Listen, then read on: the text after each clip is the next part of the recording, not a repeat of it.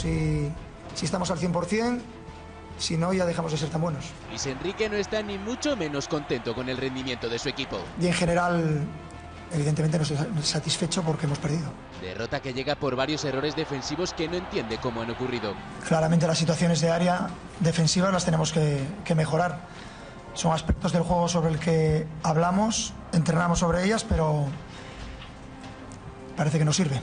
Recado directo a sus jugadores. Hay que ponerse las pilas. En una semana empieza la temporada. Con lo cual habrá que volver a retomar el tema y volver a, a mejorar. Mejorar atrás para evitar jugadas como las de anoche. Una prioridad. Empezamos un partido contra un rival de un buen potencial, un rival que, que, trata bien el balón y en las dos primeras situaciones de área no podemos, no pueden rematar solo los jugadores, han de estar marcados. Ese es un objetivo prioritario de, de nuestra línea defensiva y de eh, todo el equipo en general. Situación en la que de momento el resultado es lo de menos. No me preocupa en absoluto el resultado. Lo que le preocupa es el trabajo de toda una pretemporada.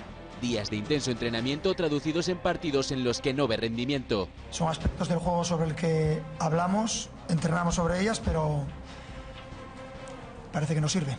No sirve. Duras palabras de Luis Enrique a un equipo lejos de su mejor versión. A partir de ahí, cosas que veo que se pueden corregir, cosas que tenemos que corregir, evidentemente, y bueno, sirve también como, como estímulo. ¿eh? Somos muy buenos si, si estamos al 100%, si no, ya dejamos de ser tan buenos.